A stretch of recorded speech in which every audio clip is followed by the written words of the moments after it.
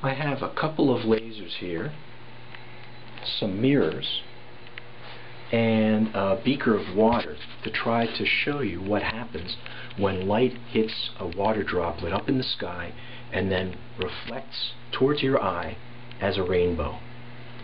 Uh, first of all, I took the the uh, the time here to turn this green laser around using a mirror that you can barely see there uh, that then hits this half-silvered mirror and then goes shooting along towards that far wall over there to, that, to be that green dot.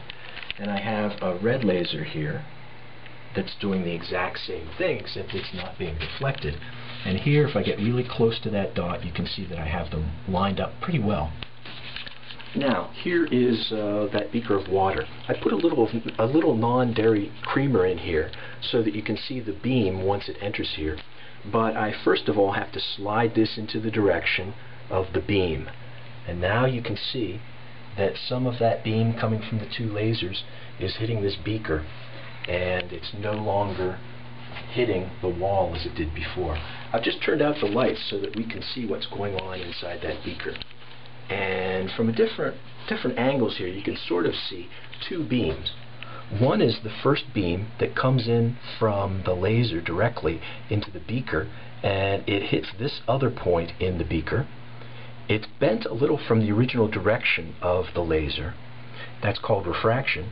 When it hits here, some of the beam continues outside, bent once again but some of it reflects at the same angle as the incident angle, and then it reflects again, although you can't exactly see that except maybe for that little dot there, which is the second point at which the beam exits. Now, I've had things set up here so that we can witness what happens to those uh, beams that exit the, uh, uh, the cylinder. One of them is over here, and you see the red and green are still on top of each other that's a very bright beam that comes through the water droplet and only gets uh, bent once uh, and doesn't reflect inside. All of the other beams that come through are going to be less bright. Here, for example, is the second beam, and you'll notice that red and green have started to separate. If I move, uh, if I move the beaker a little bit in either direction, you'll see that these two guys move. But there's a maximum angle here before they turn around again.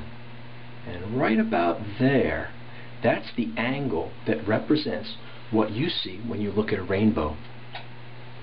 Red and green have different wavelengths and are refracted, bent differently by the water in a water droplet in the sky. And that's why we have a finite width to your rainbow. If I look at this from on top, imagine that the lasers here are the sun and here's the portion of the sky where the refraction takes place inside of water droplets, spherical water droplets, and then it comes down to your eyes. So if you want to see a rainbow when it's uh, when it's a somewhat sunny day and it's been raining, what you need to do is you need to look in that direction, which means you have to have the sun to your back. But you look in a direction that's, uh, let's see, about 40 degrees away from the direction that would be directly away from the sun. Now, there are also double rainbows. Those come about from the next beam that exits, which is over here, but it's so dim that I can't really show it to you.